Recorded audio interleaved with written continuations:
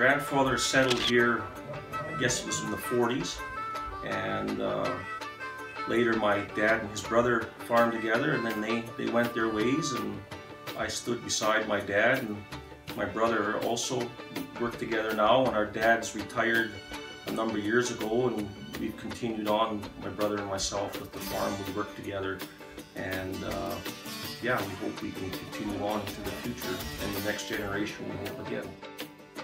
Maybe a little less stressed, a little more laid back, but that's that's the way it is. We got to adapt, I guess, in order to survive.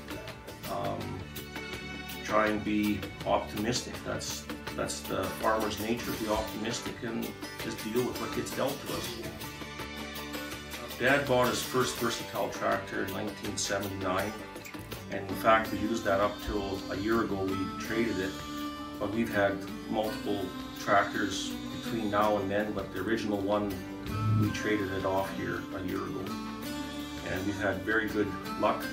Um, good service and reliability out of the versatile product and we're going to stick with it for into the future for a long time. Very excited like any young kid, smiles from ear to ear, couldn't get out of the seat, wanted to stay in it even over meal time, didn't want to leave.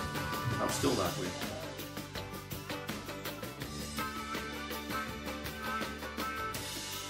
Christmas again all over, uh, it's one thing to think it'd be nice to win it, and we did very fortunately. Um, yeah, and it's it's quite an honor to be part of that, and it's quite an honor to have it here on our farm. And we plan on making a bit of a theme room out of it and take it into the future, and hopefully we can leave it for the next generation. But it's an honor, quite an honor.